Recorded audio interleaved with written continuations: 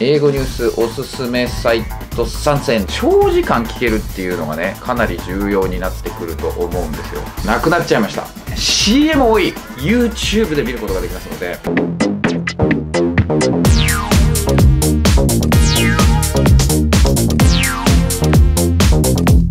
そうでは始まりました。もじゃチャンネル。さあ、今回はですね、英語ニュースおすすめサイト参戦ということでですね、英語のニュースを聞くのにおすすめなサイトをお知らせしようかなと思いますね。お知らせつかお伝えしようかなと思いますね。だいぶですね、時代が変わってきまして、昔と変わってるなっていう印象なので、ちょっといろいろと話していこうかなと思います。おすすめなのはですね、やっぱり長時間聞けるっていうのがね、かなり重要になってくると思うんですよ。なぜかってさ、まあちっちゃい細切れ細切れのニュースだったら、まあ確かにいろんなウェブサイトで見ることができます。もう様々なところで見ることができる。ただ、長時間見れるものっていうのがだいぶ少なくなった印象ですね。もちろんテレビがあるだったら、テレビでいろんなものを聞くことが可能ですね。で、普通にまあ NHK 入ってね、NHK を、ああみたいなですね、人は7時のニュース、まあ30分ですね。で、9時1時間のニュースをやってると思うんですが、それの副音声で聞くことができますね。で、日本のものなので、英語の副音声にしても大体わかるんですよ。あとまあ字幕とかも日本語でそのまま出ているので、理解することは結構簡単だと思います。それで、ああ、この表現ってこういう風に言うんだ、英語ではっていうのが分かったりしますね。で、あれは原稿をを読んでるので、ネイティブたちが。そのアナウンサーたちのアドリブというか、いきなりの発言とかになると、日本人の同時通訳者が出てきますね。あとは、まあ、スポーツの結果とかね。結構速報で出てくるものなんで、あらかじめ用意された原稿じゃないものは、日本人の同時通訳者が読みます。だから、ちょっとそこがね、嫌だって人がいることはいるんですよね。で、原稿読んでる人はもうネイティブなんで、まあ、時々すごいバイリンガルの人もいたりするんですけど、なんでまあ、リスニングとしては、長時間聞けるので、まあ、役立つ。あとは、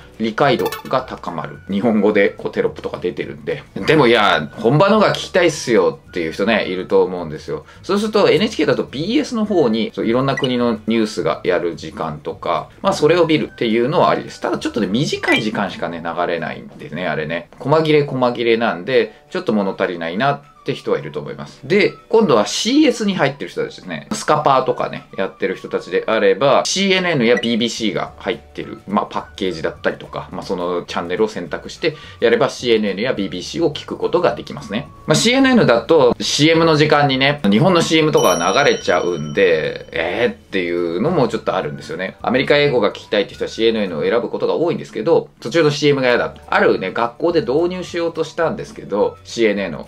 途中の CM が日本語になっちゃうと。アメリカとかの方だと普通のアメリカの CM が流れるところに日本の CM をこう入れ込むんですよ。この入れ込む作業を大学の時の後輩がやってましたけど、こうやってボタンを押して切り替えるだけ。日本の CM に切り替えるっていうのをやってましたけど、なんでちょっと日本のが流れちゃうんですよ。で、BBC の方は CM もそのまま BBC なので、英語しか流れないんですね。だからある学校が CNN を導入しようとしたんですけど、あ、日本語流れちゃうからダメだ。だから BBC を入れようって言って BBC を流してる学校って結構あったりしますね。なんで BBC だともうずっと英語付けです。で、TBS だと CBS イブニングニュースが流れる時間があります。で、自分自身はこれを使ってリスニングをやってたんですね。なんでまあこれはすごく良かったんですが、なんかで TBS で流れない時もあるらしいんですよね。で、こうやって聞くとですね、いや、じゃちょっと待ってくださいよと。うちテレビないんすけどとか、え、テレビでもそんな BS とか CS の契約なんかちょっとお高くなっちゃうじゃないですかって人いますね。なんで、その方々のために、で、CBS イブニングニュースを僕自身は使ってたんですけど、なぜかっていうと、フルエピソードって言って、全部のね、やつが無料で見れてたんですよ、ネットで。最初から最後まで無料で見れてたんです。でも、なくなっちゃいました。アプリを持ってなきゃいけなくて CBS の。で、しかもアメリカじゃないと見れなくなっちゃいました。どこの国でも見れたんですけど、だから昔は毎日見てたんですけどね。超残念です。で、CNN や BBC が、まあ、細切れでしかね、見れないんですよ。特に CNN なんかもう CM バンバン挟んでて、いやいや、こんなのリスニングの勉強にならないよって言って昔やめちゃったんですけど、じゃあ、ウェブサイト紹介しましょう。無料で見れます。無料で見れる英語ニュースおすすめ参戦はすべて YouTube で見ることができますのでそうなんです。だからあなたが今ここで見ているこの YouTube のプラットフォームだけで OK です。無料で構いません。一切お金は取らないし私も別にお金を誰からもらってるわけでもありません。なので皆様にお役に立つと思います。はい。それがですね、まずはスカイニュース。はい。まあ、イギリス系の人だったら、イギリス系の人だったらですけど、イギリスのニュース見る人とかだったら知ってるウェブサイトですね。非常に有名です。え飛行機乗ってヨーロッパに行ったりとかする人とか、あとはイギリスのね、航空会社とか使えば流れてますね。まあ、オーストラリアとかニュージーランドとか行った時も流れてたと思いますけど、こう、チャンネル選べたと思うんですが、そうです。イギリス系の非常に大きなニュースサイトになります。で、イギリス英語で聞けて、で、これがですね、ずっとライブやってますから、まあ、いつ止まるのかはよくわかんないですけど、けど基本的に24時間だと思うんですけど、ずっとそのサイト行けばライブがやってます。だから、長時間聞けるんですよ。細切れじゃなくずっと聞ける。On the, on the lakes of, on the, the banks of of Lake Geneva. They will meet at lunchtime. They will meet uh, one on one um, uh, initially with, with just their um, one plus one, I should say, with just the US Secretary of State and the, uh, the Russian Foreign Minister at their side. ということで内容はちょっとね、アメリカとロシアでしたけど、イギリス人ですよね、完全に。ね、レポーターさん。そうなんです。このイギリス英語をがっつり聞くことができるので、まあ長時間ですよ。ずっと聞いてられますから、スカイニュースね。だってもうライブでさ、複数やってますからね。はい。はい。だから複数の動画でやってますから、ライブでね。すごい。いくつやってんの？っていうぐらいですね。複数でやってますね。はい。えー、さらに、いやいや、イギリス英語じゃなくて、アメリカ英語聞きたいっす。わかりました。ずっとライブやってるチャンネル、他にもあります。これ。Just the two of them,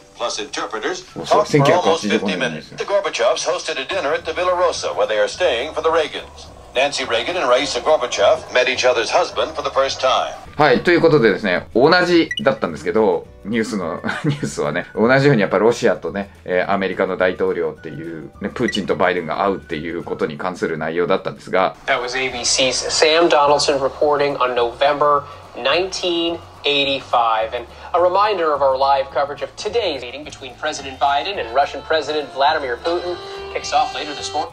はい。ということで、で、これアメリカ英語ですね。ABC ニュースです。なんで ABC ニュースをずっと見れます、これも。だ NHK の BS 見なくてもずっと見れます。なんでこう仕事しながらとか暇な時は私これ聞きながらやってますね。これが ABC ニュースです。ただね、ABC ニュースね、CM 多い。これもナンバーワンモーニングショーとかって書いてあるんですけど、America's number one morning show。これとかが NHK で流れてるやつですね。これね。はい。World News Tonight ね。そうそうそう。こういう感じでですね、CM がすごい挟まる。ずっと見れるのでいいんですけど、ちょっと多いコマーシャルが。で、まあ、アメリカ内だったら、そのアメリカの商品とか、僕 CM 見るの好きなんで、でいろんな外国行ったらホテルでずっと CM 見てますからまあ CM とかずっとテレビ見てるんで、そういうのだったらいいんですけど、同じ ABC の CM がずっと流れてるので YouTube って。他の商品出せないんで。だからね、ちょっとコマーシャル多いなっていう感じ。で、最後はこいつ。Intrusion affecting federal, state, local governments. In an age when so much of our lives are conducted online, cyber attacks must be treated as a serious threat Then in April, after announcing sanctions on Russia, Biden also extended an invitation. はい。当然同じように、こっちも 同じようにやっぱりバイデンとプーチンですね。まあどこも同じニュースなわけですが、これが NBC ですね。NBC と書くやつですが、NBC がライブでやってます。もうずっと見れるんだもん、これ。この3つですね。という感じでですね、実は YouTube でもうほぼほぼ24時間のライブでずっとやってるっていうニュースサイトあるので、それらを使うのがおすすめです。別にこれだけじゃなくてたくさんあるとは思うんですよ。まだ多分分かってないのがあると思います。多分フランスのやつなんだけど、英語でずっとやってるとか、えインドのやつでずっと英語で流れてるとか、そういうのもあると思うんで、まあこれ24時間じゃなくて、まあ何時間かのニュースかもしれないんですけど、そういうサイトもいろいろ見てます。アラブ系のところで英語でずっと流れてるやつとか、そういう風に実は英語でニュースがずっと流れてるものっていうのはあります。だからニュースサイト見たいんですとか、英語ニュース聞きたいんですって言われるんですけど、え実はこういうところで無料で聞くことできますんで、ね、もしね、そういうサイト探してて、あ、そうだったんだ、知らなかった、英語ニュースこれから無料でずっと聞けるんだ、やったって思ったかですね、はい、参考にしてもらえればいいんじゃないかなと思います。はい、ぜひ使ってみてください。はい、ご視聴ありがとうございました。Thank you for watching.